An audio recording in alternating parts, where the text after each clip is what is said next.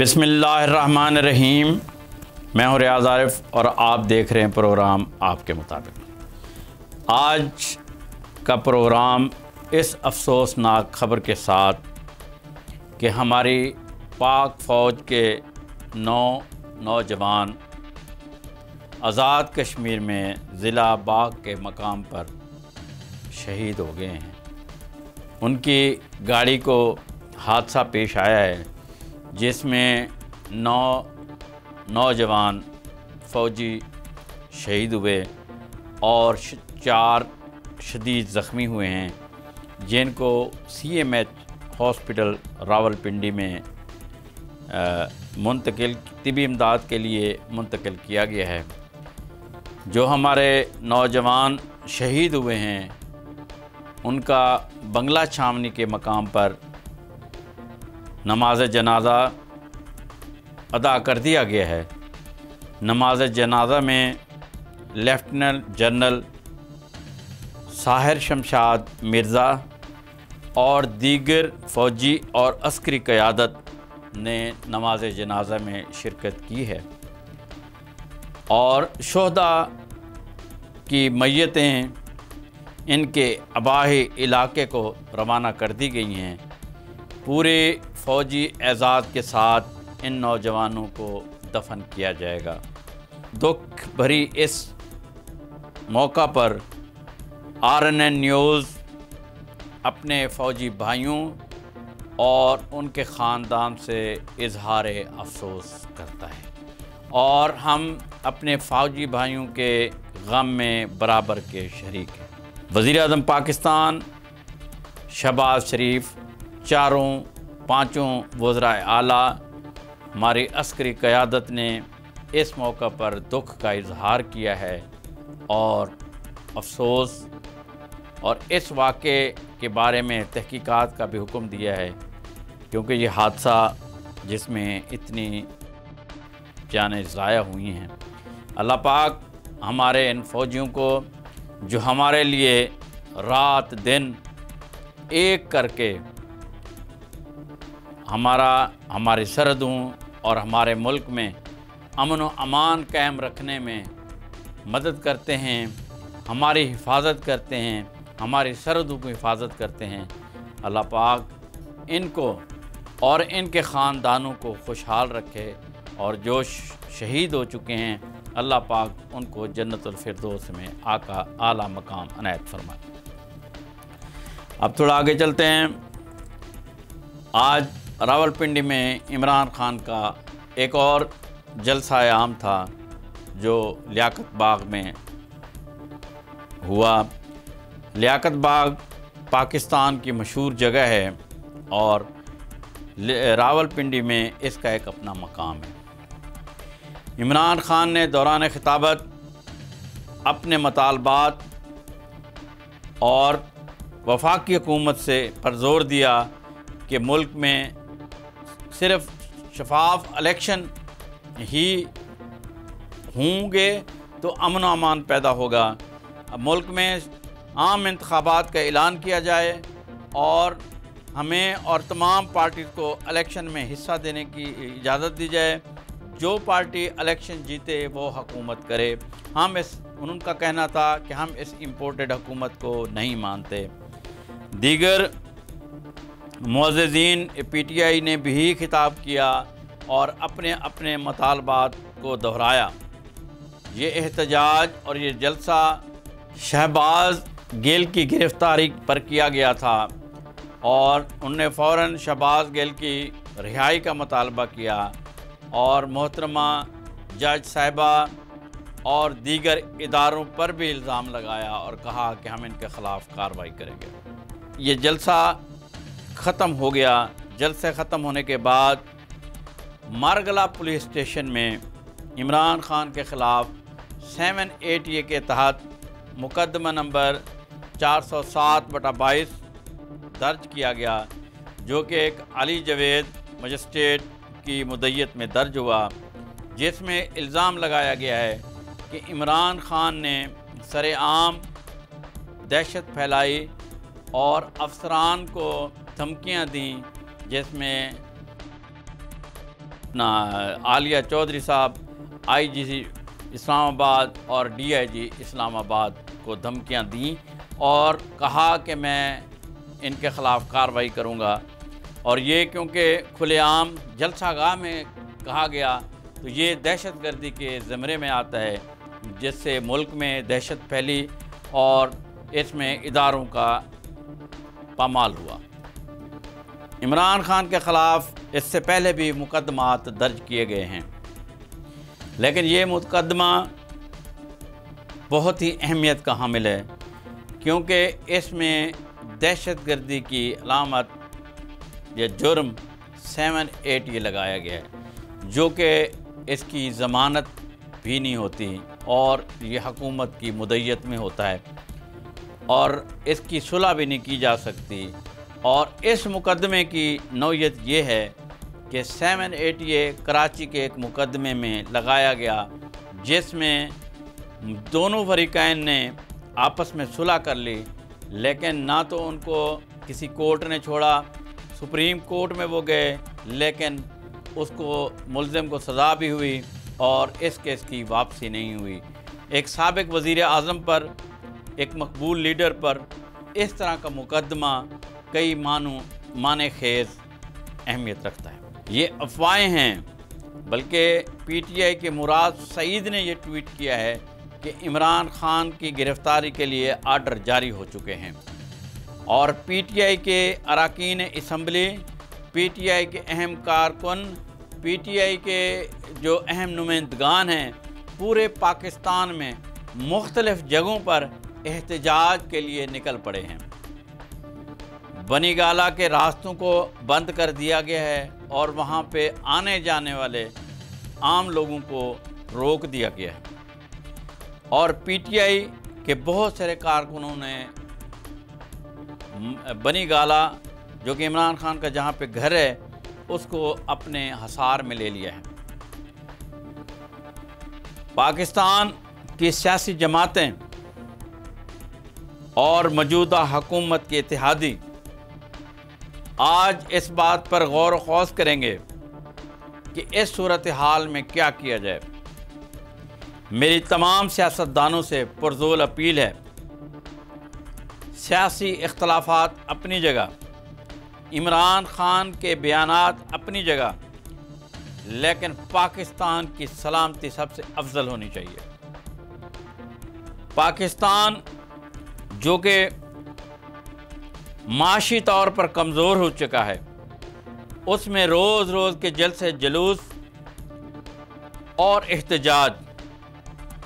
पाकिस्तान इसका मुतमिल नहीं सकता पाकिस्तान के कारोबारी तबके, पाकिस्तान के तजारती हलके, पाकिस्तान के मज़दूर इस बात पे बहुत ही गमज़दा हैं और उनकी रोज़ी रोज़गार का मसला है। हर पाकिस्तानी इतना फारग नहीं है कि वो जल्द से जलूस में जाके एहतजाज करे रोड़ें ब्लाक करे। ये सिर्फ़ वही लोग करते हैं जिनके घर में खाने के लिए बहुत कुछ है। लिहाजा मेरी सियासतदानों से, हुकूमत वक्त से ये दरख्वास्त है कि पाकिस्तान में अफरा तफरी को कम करने के इसबाब पैदा किए जाएँ, ना कि पाकिस्तान में अफरा तफरी के वाक़ात को बढ़ाने में हकूमत मुलविस ना निकले। हमारे कई वज्र आज़म गिरफ़्तार हुए। यहाँ तक कि जुल्फ़ार अली भुट्टो को फांसी दी गई। यूसफ रजा गिलानी को वजारत उज़मा से फारग किया गया। नवाज़ शरीफ साहब को वजारत उज़मा के दौर में फारग किया गया। उनको गिरफ़्तार किया गया, उनको जेल में डाला गया। उनकी पार्टी मकबूलियत कम नहीं हुई। तो क्या इमरान खान को ऐसा करने से उनकी पार्टी मकबूलियत में कमी आएगी? कभी भी नहीं आएगी। हमें ये सोचना होगा। हमें अपने मुल्क के बारे में सोचना होगा। इमरान खान के अल्फाज गलत होंगे, लेकिन इमरान खान भी एक मुहब वतन है। उसका तरीक़ाकार गलत होगा, लेकिन इमरान खान भी पाकिस्तान से मोहब्बत और चाहत रखता है। जिस तरह पाकिस्तान की आवाम, पाकिस्तान के गरीब, गुरबा, मसाकिन, उमरा, तजारती हलके, कारोबारी लोग इमरान खान की पार्टी में शामिल हैं। अगर इमरान खान कुछ गलत करेगा तो अवाम खुद ब खुद उसको मुस्तरद कर देगी। जो पाकिस्तान के ख़िलाफ़ जाएगा, पाकिस्तानी अवाम उसको मुस्तरद करेगी। जादू कुछ दिनों का होता है। टोने कुछ दिनों के होते हैं। पाकिस्तान की मोहब्बत हमेशा से है और हमेशा रहेगी।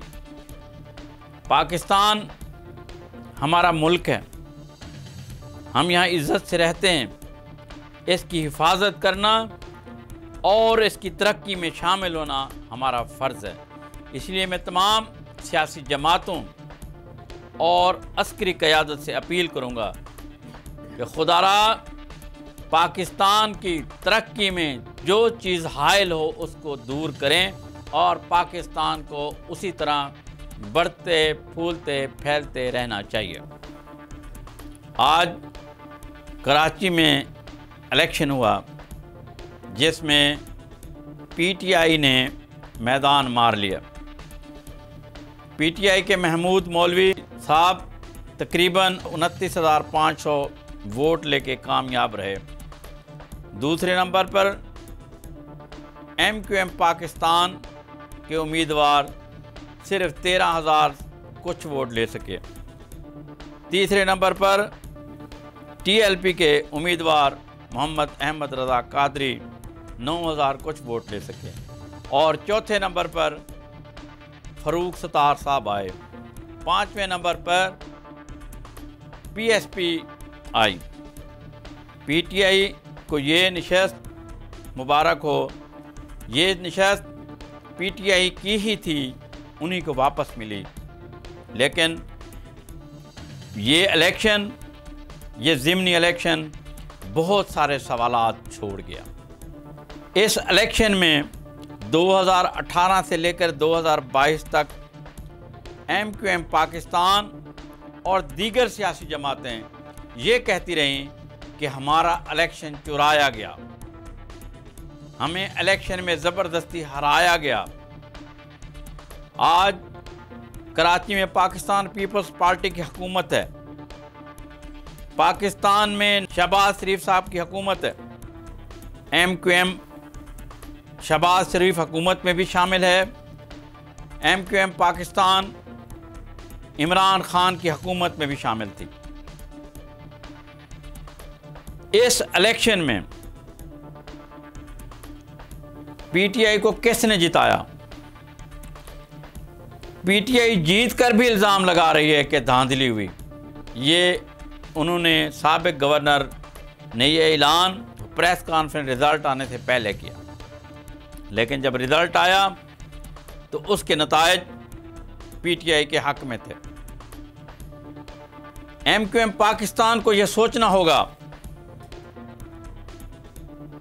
अपनी सफ़ों में देखना होगा कि हम मुतहद होकर क्या हैं और मुतहद ना रहकर क्या हैं। फरूक सतार साहब को बार बार एम क्यू एम पाकिस्तान के लोग कह रहे थे कि हम आपको मुतफ़ का उम्मीदवार बनाते हैं। लेकिन उनके आपस के मतालबात और उनके अख्तलाफात की वजह से इनका इतिहाद ना हो सका। जनाब मुस्तफ़ा कमाल साहब को बहुत ज़्यादा सोचने की ज़रूरत है।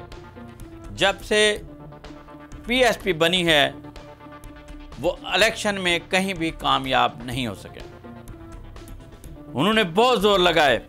तमाम चैनल्स पर बड़े बड़े इश्तहार लगाए गए। अपने कामों को दिखाया गया। लेकिन अवाम ने सबको यकसर मुस्तरद किया और पीटीआई को एक्सेप्ट किया। पीटीआई की यह जीत बल्दियाती इंतबात पर असरअंदाज होगी। हमारी चौदह जमातों का जो इतिहाद है, इसको देखना होगा। पीटीआई की मकबूलियत में कमी नहीं आ रही। कराची जैसे शहर में जिसमें सब दुनिया ने कहा कि इसमें धांधली हुई। आज कहाँ है वो इमरान खान, जो बार बार इलेक्शन कमीशन पर इल्ज़ाम लगाता है और कहता है इलेक्शन कमीशन धांधली करवाता है। क्या आज रिज़ल्ट धांधली का नतीजा है? कभी नहीं। इस इलेक्शन कमिश्नर के होते हुए इलेक्शन साफ़ होता रहा है और उम्मीद है कि आंदा भी इस तरह साफ़ और शफाफ होगा। अगर इलेक्शन कमिश्नर धांधली कर रहा था तो फिर पीटीआई कैसे जीती? इमरान खान साहब, आपको इदारों पे इल्ज़ाम लगाने से पहले ज़रा गौर करना चाहिए। कि हमारे नतज क्या आ रहे हैं? इसी तरह पच, जो इलेक्शन पंजाब में हुआ उसमें भी इमरान खान साहब ने पंद्रह सीटें जीत कर भी इलेक्शन कमीशन पर इल्ज़ाम लगाया। लेकिन इलेक्शन कमीशन जो था वो गैर मुतनाज़ा रहा। और आज के इलेक्शन में जहाँ पे इक्का दुक्का वाक़ात भी नहीं हुए कत्ल गारत भी नहीं हुआ लड़ाई झगड़े भी नहीं हुए कहीं से कोई शिकायत भी नहीं हुई फिर हमारे सबक गवर्नर साहब का ये इल्ज़ाम कि धांधली हो रही है और रिज़ल्ट कुछ और बता रहे हैं, हमें सोचना चाहिए। अपने इदारों पर इल्ज़ाम तराशी करने से पहले हमें गौर करना चाहिए। बिलाशक, इमरान खान की मकबूलियत बहुत ऊँची जा रही है। उनके मुकाबल का सियासतदान नहीं है, लेकिन उनको अपने तर्ज पर थोड़ी रहमत करनी पड़ेगी। उनको अपने आप और अपनी ज़बान पर थोड़ा कंट्रोल हासिल करना पड़ेगा। लेकिन कराची जैसे शहर में पीटीआई की जीत इस बात का सबूत है कि पीटीआई कराची में ना सिर्फ़ मौजूद है, बल्कि वो जीत भी रही है। आने वाला बल्दियाती इलेक्शन जो कि इसी माह की आखिरी तारीखों में है, ये साबित करेगा कि कराची की जमात कौन है? क्या कराची की जमात एम क्यू एम पाकिस्तान है? क्या कराची की जमात पी टी आई है? या कराची की जमात पाकिस्तान पीपल्स पार्टी है? और ये पी एस पी के लिए आखिरी मौका होगा कि वो अपनी चंद सीटें निकालें। नहीं तो पी एस पी ख़त्म समझें। और मुतहदा कौमी मूवमेंट जो कराची में सबसे बड़ी जमात थी इस इलेक्शन में सिर्फ़ तेरह हज़ार वोट, जिनके वोट लाखों में हुआ करते थे, उनके हज़ारों पे आ गए। जिनके रिज़ल्ट खंबे को भी वो टिकट दे देते थे तो एम क्यू एम का बंदा जीत जाता था। अल्ताफ़ हुसैन को पार्टी से हटाए जाने के बाद एम क्यू एम का जिवाल अभी तक जारी है। और न जाने ये कब तक जारी रहेगा। हमारे जितनी भी सियासी जमातें हैं, जमात इस्लामी ख़ासकर, जो बहुत सारे एहतजाज करती है, अवाम में मकबूलियत का गिराफ कहाँ है? टी एल पी के वोट बढ़े हैं। उन्होंने भी 9000 के करीब वोट लिए हैं। गोया एम क्यू एम को जो सबसे बड़ा ख़तरा है वो टी एल पी से है। और पी टी आई को भी यही मसला दरपेश है। आमिर लियाकत हुसैन की नशस्त पी टी आई की नशस्त थी। गो के ये पी टी आई के पास गई लेकिन जिस एम क्यू एम ने 2018 में 25,000 वोट लिया था आज वो 13,000 पर कैसे आई? और पीटीआई ने भी 55,000 वोट लिया था। उसको भी 19,000 समथिंग वोट मिला है। इलेक्शन में लोगों की दिलचस्पी बहुत कम रही है।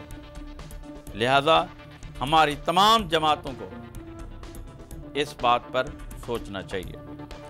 पाकिस्तान में सैलाब की सूरत हाल बहुत ख़राब है।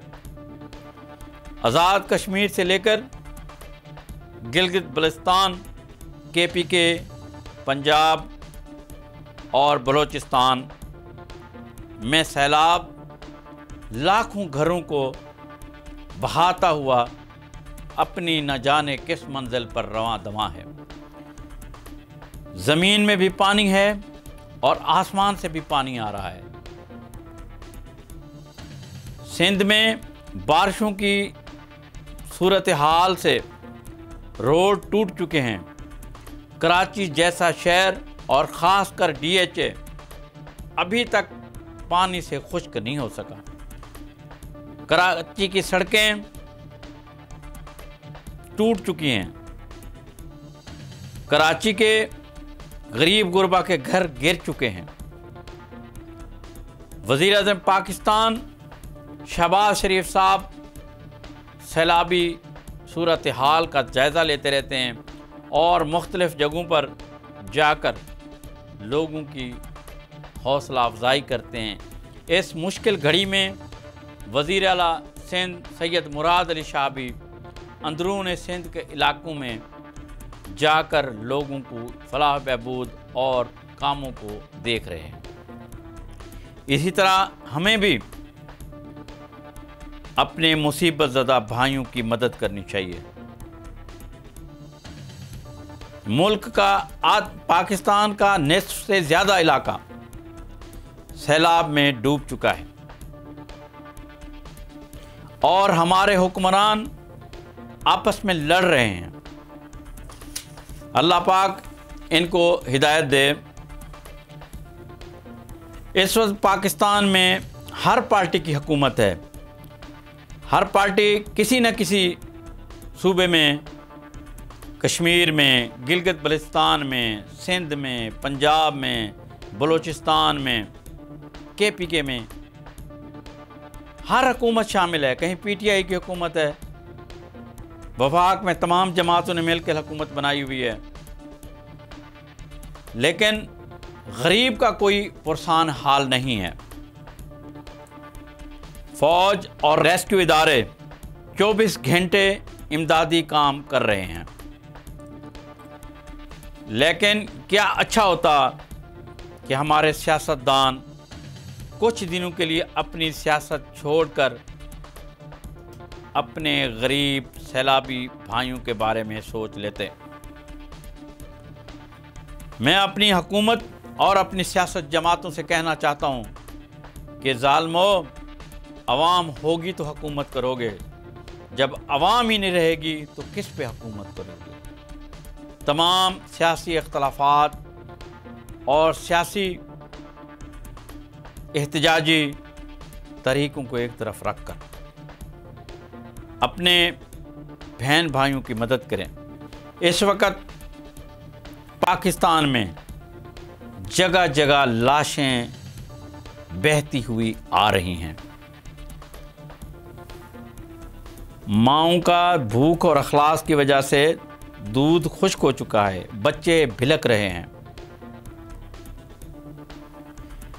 किसी की माँ ना रही, किसी का बाप ना रहा। कोई बहता हुआ एक सूबे से दूसरे सूबे आ गया। इस वक्त बेसराम सरोसमानी और भूख और अफलास की वजह से मेरे पाकिस्तानी मजबूर हैं। भाइयों, हमने अपनी पसंदीदा सियासी जमात और पसंदीदा सियासतदान की वजह से एक दूसरे को नोचा होगा। आए आज पाकिस्तानी भाइयों के लिए एक दूसरे की मदद करें। आज के लिए इतना ही। कल मिलते हैं द प्रोग्राम। में अस्सलाम वालेकुम।